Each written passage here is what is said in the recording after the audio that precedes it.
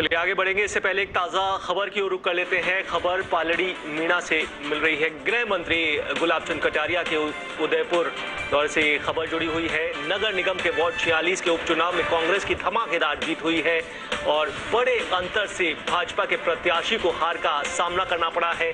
कांग्रेस में जश्न का माहौल है और करारी हार हुई है।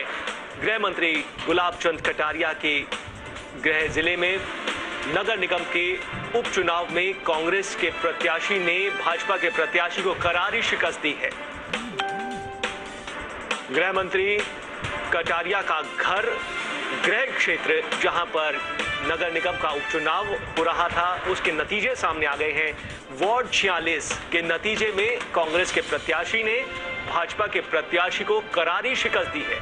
बड़े अंतर से ये शिकस्त दी गई है। कांग्रेस के खेमे में खुशी की लहर, उत्साह की लहर देखी जा रही है और एक बड़ा झटका गृह मंत्री गुलाब चंद कटारिया को लगा है। साथ ही पूरे बीजेपी को ये झटका लगा है। नगर निगम का उपचुनाव, जिसका नतीजा सामने आ गया है और भाजपा के प्रत्याशी को यहाँ पर हार का सामना करना पड़ा है। तो आपको बता दें कि लगातार बीजेपी प्रदेश अध्यक्ष के सस्पेंस को लेकर भाजपा फ़िलहाल सुर्खियों में है, लेकिन इस बीच नगर निगम वार्ड 46 को लेकर ये उपचुनाव के नतीजे की खबर सामने आ गई है, जिसमें बीजेपी को करारी हार का सामना करना पड़ा है।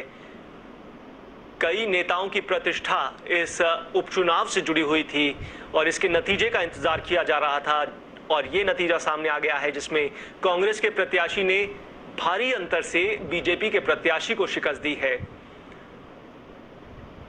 नगर निगम वार्ड छियालीस, जो उदयपुर में गृह मंत्री गुलाबचंद कटारिया का गृह क्षेत्र है, और गृह मंत्री गुलाबचंद कटारिया के वार्ड में ये उपचुनाव हो रहा था, लिहाजा प्रतिष्ठा कहीं ना कहीं उनसे भी जुड़ी हुई थी।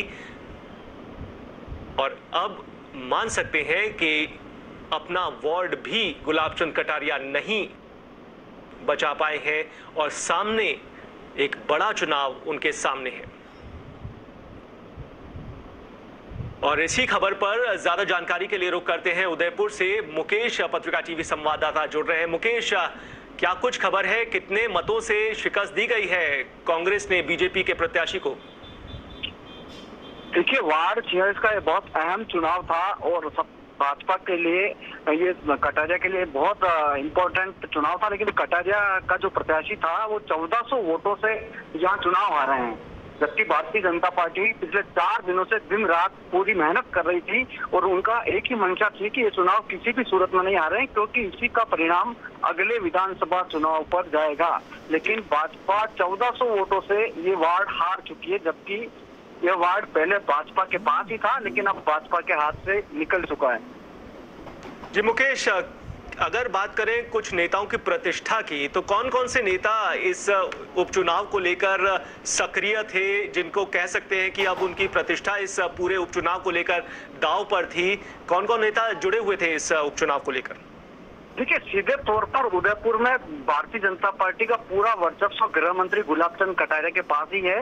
तो सीधे तौर पर एक बार तो वही जिम्मेदार इस हार के लिए हैं। और उसके बाद उदयपुर नगर निगम के महापौर चंद्र सिंह कोठारी और भाजपा शहर जिला के अध्यक्ष दिनेश भट्ट, इन तीनों ने पूरी मेहनत की थी, सारी रणनीति की थी। चुनाव के नॉमिनेशन से पहले कांग्रेस की जो कैंडिडेट थी, उसकी जीत मानते हुए उन्होंने उसका नामांकन तक खारिज करवा दिया और कांग्रेस का डमी कैंडिडेट मैदान में उतरा, लेकिन वो भी 1400 मतों के अंतराल से जीता। भाजपा बड़े चिंता में अभी इस समय डूबी हुई है कि विधानसभा चुनाव छह महीने बाद ही है, कैसे क्या होगा? उदयपुर में जबकि भाजपा उनपचास, पचपन में से उनपचास वार्ड में भाजपा का दबदबा और चुनाव जीते हुए पार्षद है, लेकिन ये उपचुनाव भाजपा हार चुकी है उदयपुर में।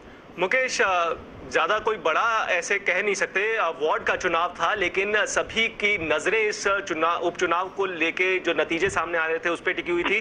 किन मुद्दों को लेकर ये प्रत्याशी चुनाव मैदान में उतरे थे? क्या स्थानीय मुद्दे हावी थे, या प्रदेश के मुद्दे थे, या राष्ट्रीय स्तर के मुद्दे थे? किस तरह के मुद्दे प्रत्याशी लेकर चल रहे थे? देखिए सही बात तो ये है कि चुनाव को हम विधानसभा चुनाव में नहीं मान सकते लेकिन कटारिया विधानसभा चुनाव को देखते हुए इस वार्ड में चुनाव लड़ रहे थे और उसी के हिसाब से उन्होंने रणनीति बनाई थी।